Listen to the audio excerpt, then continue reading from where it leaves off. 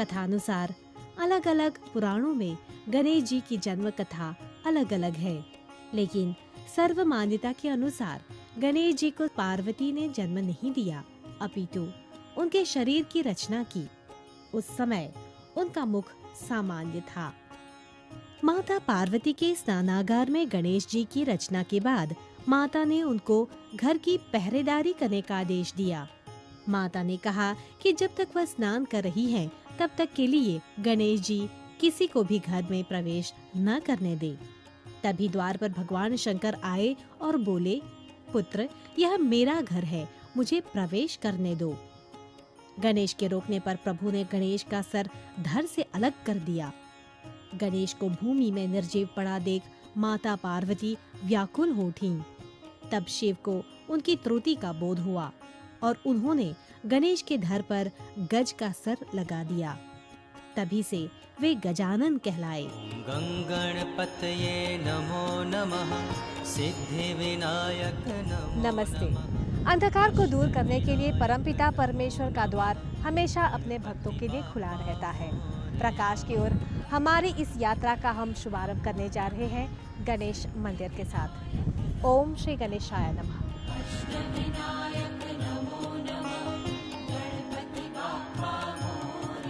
ॐ गङ्गणपतये नमो नमः। सिद्धिविनायक नमो नमः। अष्टविनायक नमो नमः। गणपति बापा देश के दक्षिण पश्चिम प्रांत में लगभग दस हज़ार आबादी वाले रोजबेल गाँव में प्रथम पूज्य गणेश जी का एक अलौकिक मंदिर श्री गजानन मंदिर निर्मित है जो जवाहरलाल नेहरू अस्पताल के समीप ही पाया जाता है। जय गणेश जय गणेश जय गणेश देवा। मंदिर के चारों तरफ़ मखमली धोवा छाई हुई है। इसकी सुंदरता बढ़ाने के लिए इसकी देख रेख होती रहती है। यहाँ की स्वच्छता व पवित्रता से यहाँ की दिव्यता और भी बढ़ जाती है। मानो नील गगन से समस्त देवी देवता श्री गजानन मंदिर की झलक पाने हेतु ललायित रहते हैं।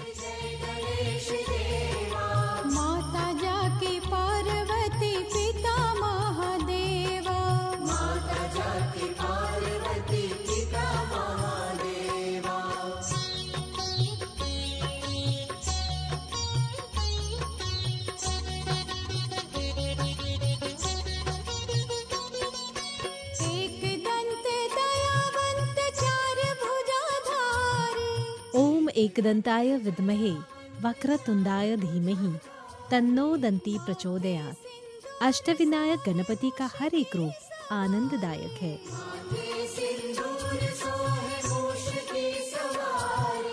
ऐसी मान्यता है कि कोई भी कार्य के शुभारंभ के लिए गणेश जी का नाम अवश्य स्मरण करना चाहिए। ओम श्री गणेशाय नमः। इनका द्वार सबके लिए खुला रहता है। अस्पताल में काम करने वाली डॉक्टर, नर्स तथा समस्त भक्तगण गणपति से यही प्रार्थना करते हैं कि अपने कर्तव्यों से वे कभी चूके नहीं। गणेश जी, दुख हरता, सुख करता है। सुख करता, दुख हरता, वार्ता विघ्नाची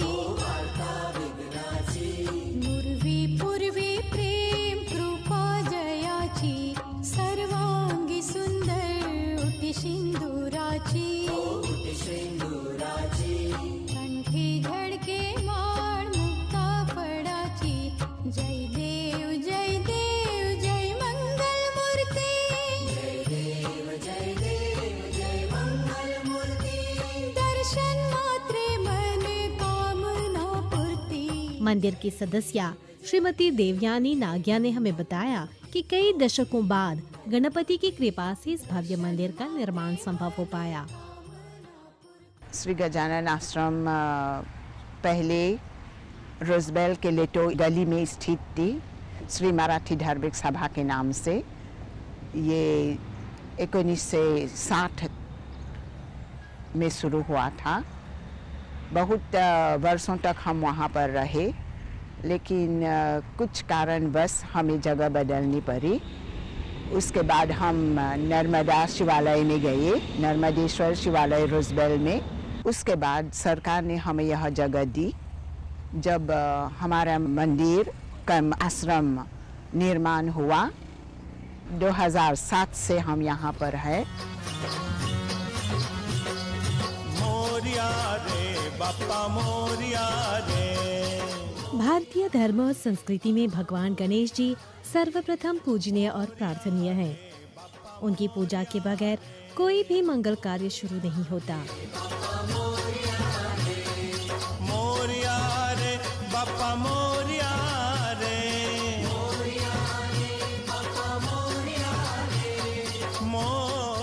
इनका हर एक रूप आनंददायक है वे अग्र पूज्य गणों के ईश गणपति स्वस्तिक रूप में तथा प्रणव स्वरूप है। उनके स्मरण मात्र से ही संकट दूर होकर शांति और समृद्धि आ जाती है। वे एक दंत और चतुर्बाहु है। अपने चारों हाथों में वे क्रमशः पाश, अंकुश, मोदक, लड्डू तथा वरमुद्रा धारण करते हैं। गणेश जी को दुर्वा के प्रति विशेष लगाव है। मूषक इनका वाहन है। जय देव, जय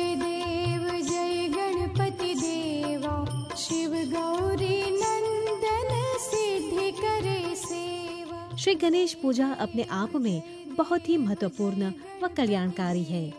चाहे वह किसी कार्य की सफलता के लिए हो या फिर चाहे किसी कामना पूर्ति के निवारण हेतु हो। गणेश जी विद्या और बुद्धि के अधिष्ठाता देवता है। तर्क वितर्क में उनका सानी कोई नहीं। गणेश जी की आराधना करने से निश्चित ही विद्यार्थियों को विद्या प्राप्त होती है। श्री गणेश निष्कपटता, विवेकशीलता एवं निष्कलंकता प्रदान करने वाले देवता है। उनके ध्यान मात्र से व्यक्ति उज्जवल भविष्य की ओर अग्रसर होता है। गणपति विवेकशीलता के परिचायक है। देवताओं के सेनापति स्वामी कार्तिकेय इनके ज्येष्ठ भ्राता है। एक बार कार्तिकेय व गणेश जी में होड़ लगी कि सबसे बुद्धिमान कौन? तब भगवान भोलेनाथ जी ने कहा कि जो पृथ्वी के चक्कर लगाकर सबसे पहले लौट कर आएगा वह बुद्धिमान व प्रथम पूजनीय होगा। लंबोदर तो भारी भरकम थे। वाहन भी चूहा व कार्तिकेय उत्तम वज़न के थे और उनका वाहन मोर। स्वामी कार्तिकेय चल पड़े। गणेश जी सोच में पड़ गए। उन्होंने सोचा माता पिता ही जन्मदाता है तो सबसे महान वही हुए। उन्हीं की परिक्रमा कर वे खड़े हो गए। पुराणों के मतानुसार रिद्धि और सिद्धि उनकी दो पत्नियाँ हैं। सिद्धिदाय देवा विश्व तणावर्ता विघ्न राज एक दंत विघ्न सकड़ हरता। एक अन्य कथानुसार ऋषि व्यास ने गणेश जी को महाभारत लिखने में उनकी सहायता की मांग की जिसे गणपति ने सहर्ष स्वीकार किया।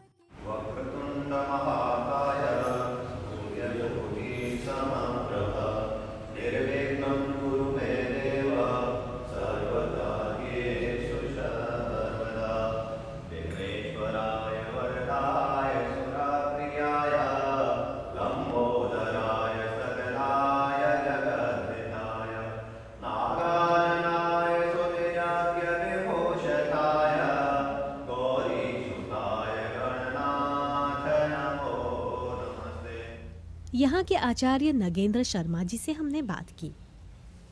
प्रति महीने स्पेशल एक पूजा करते हैं वह है उसका नाम है संकष्टी पूजा। संकष्टी पूजा हर महीने की चतुर्थी को होती है। रात के समय करते हैं और लगभग उसमें सम, कुछ समय डेढ़ सौ लोग होते हैं, कभी टू हंड्रेड लोग होते हैं नहीं काफ़ी लोग आते हैं, पूजा होती है छः बजे प्रारंभ होती है। ये वन एंड हाफ़ आवर की पूजा होती है। इसको पूजा करने के पश्चात महाप्रसाद की व्यवस्था होती है, सभी भक्तों के लिए महाप्रसाद प्रदान करते हैं। इस प्रकार से ये तो पूजा गणेश जी की पूजा होती है। गणेश जी की पूजा हमारे जीवन में वैसे भी बहुत ही महत्वपूर्ण होती है, क्योंकि हमारे शास्त्र कहते हैं, जैसे कि ये देश है, हमारा जो देश है, मॉरिशस देश है, इसमें सबसे ज़्यादा महत्व देते हैं रामायण को। तो इसीलिए रामायण को महत्व देते हुए भी, रामायण में भी तुलसीदास जी ने लिखा है कि जो सुमृत सिद्ध हो गणनायक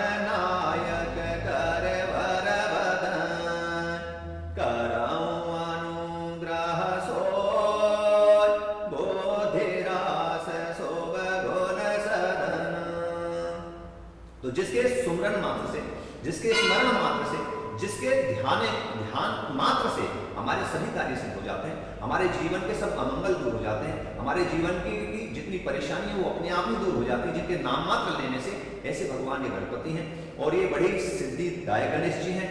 वैसे भी बड़े ये जो स्थान है ये बहुत ही चमत्कारिक स्थान है।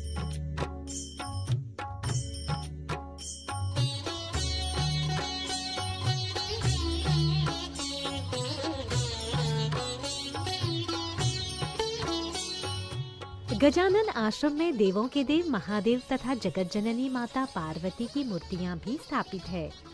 भक्तगण यहाँ शिवलिंग पर जल चढ़ाकर भोलेनाथ की कृपा प्राप्त करते हैं। ॐ गङ्गणपतये नमो नमः। सिद्धिविनायक नमो नमः।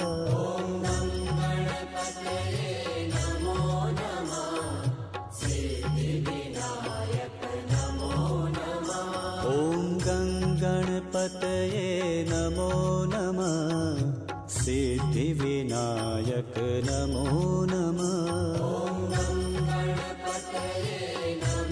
नमः। सिद्धिविनायक नमो नमः। एकदन्ताय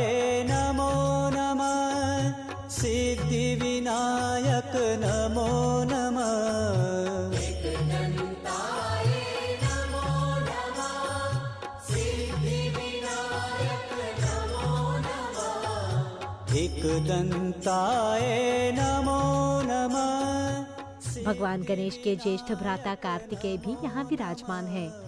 इनका वाहन मयूर है। दक्षिण भारत व तमिल समुदाय उन्हें मुरुगन के रूप में पूजते हैं। ॐ गङ्गणपतये नमो नमः। सिद्धिविनायक नमो नमः।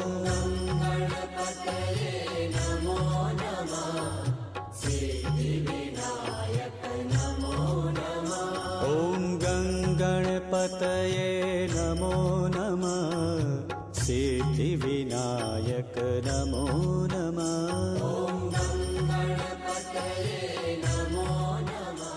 गजानन आश्रम में दत्तात्रेय भगवान भक्तों पर अपनी कृपा दृष्टि बरसाने के लिए सदैव उपस्थित है। दत्तात्रेय में ईश्वर और गुरु दोनों रूप समाहित है। इसीलिए उन्हें परम ब्रह्म मूर्ति सदगुरु और श्री गुरुदेव दत्त भी कहा गया है।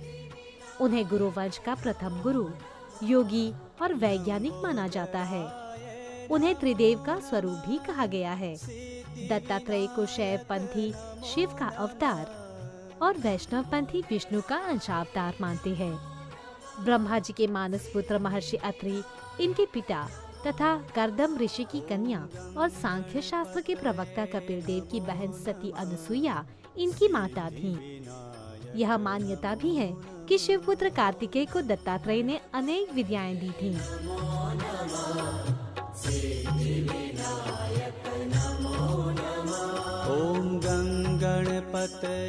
रोजबेल में स्थित गणेश मंदिर में कार्यरत सदस्यों की हमेशा यही कोशिश रहती है कि जो भी भक्त यहाँ आते हैं, वे शांत वातावरण में अपनी पूजा करें और उन्हें हर प्रकार की सुविधाएँ प्राप्त हो।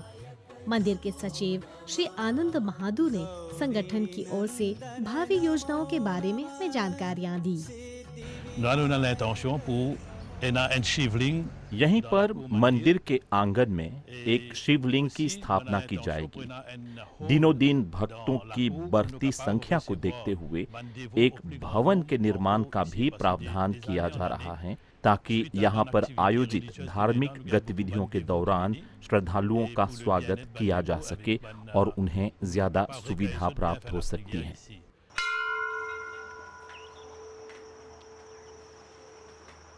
जिस प्रकार हर महीने मंदिरों में शिवरात्रि मनाई जाती है उसी प्रकार प्रति माह गणेश जी को समर्पित संकष्टी पूजा का भी यहाँ भव्य आयोजन होता है। देश के कोने कोने से श्रद्धालु अपनी मनोकामना पूर्ति हेतु इस तीर्थ स्थान में अवश्य आते हैं और पूजा में भाग लेकर अष्ट सिद्धि नौ निधि के दाता से आशीष प्राप्त कर जाते हैं। पुष्पम समर्पयामि। महाराज की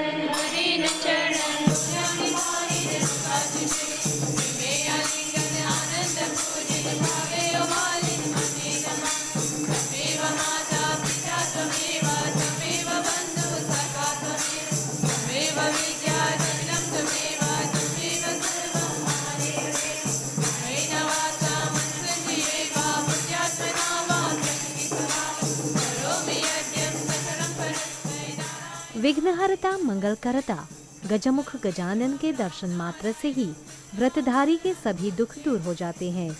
उसे जीवन के भौतिक सुखों की प्राप्ति होती है। यह नव वर्ष सभी के लिए मंगलकारी हो। आपके घर विद्या तथा धनैश्वर्य का भरमार हो।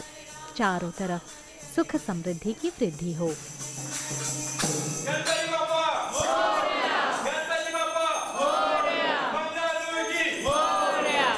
जन्म के संस्कारों से लेकर जीवन की अंतिम यात्रा तक गंगा जल के बिना हर कर्म अधूरा माना जाता है। ऐसी पतित पावनी गंगा मैया को शत शत प्रणाम है। इस वक्त हम गंगा यमुना धाम, मादाम लुलु रोजबेल में स्थित है, जहाँ बहुत ही निर्मल धारा, गंगा की निर्मल धारा बह रही है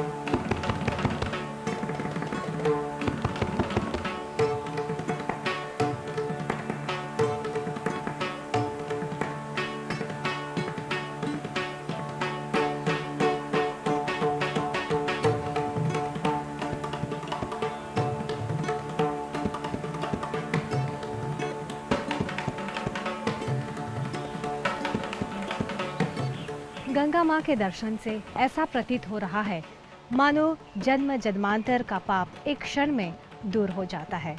हमारी यात्रा प्रोग्राम यहीं पर संपन्न होता है। हमें आज्ञा दीजिए। धन्यवाद। नमस्ते।